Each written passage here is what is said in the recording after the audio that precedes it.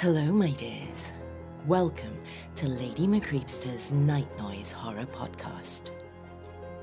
It's the weekend, and I'm hoping you're not so relieved that you get to escape work and your boss for a while. There is nothing quite as bad as having to work for a terrible employer. In this evening's tale, from creepypasta.com, our protagonist is not so lucky. So come now, my dears. Lean in closer and we'll begin.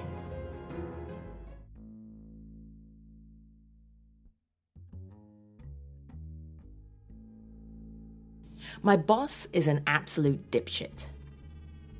Sorry, I hate to be so blunt, but that's just the way it is. My name is Sarah Collins, and I work as a personal assistant for a private law firm. It's probably safer for you if I don't mention where. Anyway, back to my asshole sleazebag of a boss. He's a short, little fat man who walks around the office like a total big shot. Rolex watch, Armani suit, you get the picture.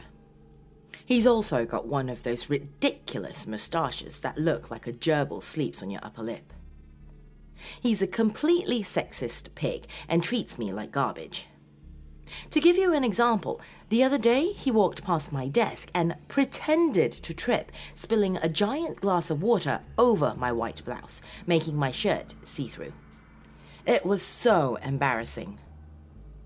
I would have left ages ago if I didn't need the money so much. Simon Jones is his name. He orders me around like a dog with no respect or praise at all. But back to the point.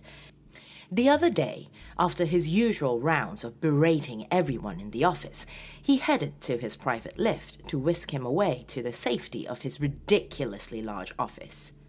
Yet, when he pressed the button, a screeching noise of metal on metal filled the room and smoke billowed through the closed doors of the elevators.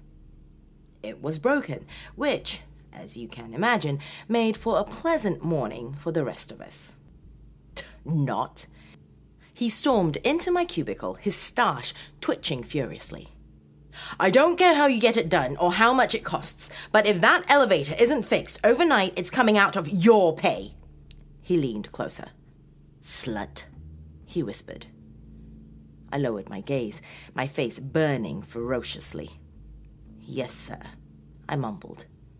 Unfortunately, this would mean that I would have to spend the rest of the day searching for a repairman. After two hours of searching, I had made no progress and I realized I was screwed. When everyone had left the office and it turned to 9 p.m., my fingers scrolled down the web page further and further, but I thought it was pointless. What sort of mechanic is open past 9? My heart fluttered when I saw the next ad. It didn't stand out and the wording was dull and boring, but there it was Mr. Mechanic. We fix everything. It also said that they were available whenever needed. I called their number, which was really unusual 005 555 555. A voice picked up on the other end, male, but no emotion whatsoever. Hello, Miss Collins, it said. Uh, hey, I replied before getting straight to the point. He was patient, and when I finished, he said, I will depart shortly. I thanked him and hung up. I didn't realize then that I hadn't mentioned my name yet. He arrived faster than I had expected. His grey overalls were matched by his grey cap that both sported the slogan on the website. He was tall and unusually slim, and his eyes were dull and glassy like marbles. I led him to the elevator and told him that I'd be catching some sleep in my office. An hour later, I woke at my desk, a pool of dribble formed at my mouth. The office was eerily quiet. I looked up, and the mechanic was staring at me from the door to my cubicle. All finished, he said. Great, you're a lifesaver. What's the charge? I replied. He told me there was no fee, as it was an extremely simple job. I thought he was joking, but then he nodded at me, took off his hat, and left. I locked up and went home and dreamed of men with grey hair and glass eyes. Simon Jones strolled around his office impatiently whilst drinking a glass of bourbon he had poured himself two hours earlier. He was waiting for the CEO of a competing company to arrive so they could attend lunch together and discuss the civility of their situation. In frustration, he threw his glass against the wall and it shattered everywhere. The phone at his desk buzzed and he jogged over to pick it up. Mr. Jones, the competition has arrived, sir. Good, was all he said before slamming down the phone and heading to his elevator. He pressed the button, and the doors slid open silently and smoothly. He smiled to himself and adjusted his tie around his bulbous neck. Whoever that dumb assistant of his had hired, they had done a good job. Jones took one step forward, but his foot found no purchase and he fell, screaming 34 stories down an elevator shaft to his death. After my boss died, his brother took charge. He was a great guy and gave me a promotion and a pay raise. A touch of class. There was an investigation, but when tested following the incident, the elevator functioned perfectly. I was asked to show the police the number and the web page of the mechanic I had called, but the page had disappeared, and when I called the number in front of the police, a mechanical voice informed us that the number did not exist.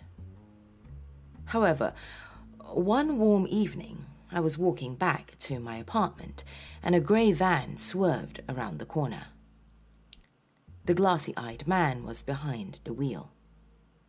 It may have been my imagination, but he turned quickly to me, doffed his hat, and gave me the briefest of smiles before disappearing around the next corner. I never saw him again, but the words on his van, overalls, hat, and web page are forever stuck in my head. We fix everything.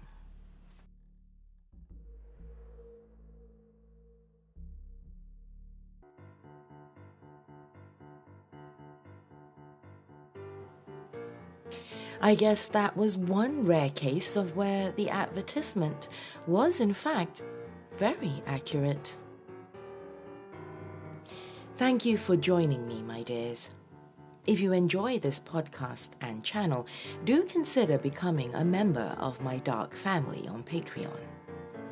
As a member, you could be eligible for discounts on my Dungeon Essentials, what some mortals call merchandise. Your support means a lot, and it helps keep this channel and podcast going. Go to patreon.com slash ladymcreepsta for more information. Even a dollar goes a long way. Thank you for visiting, my lovelies. Till next time, sweet dreams.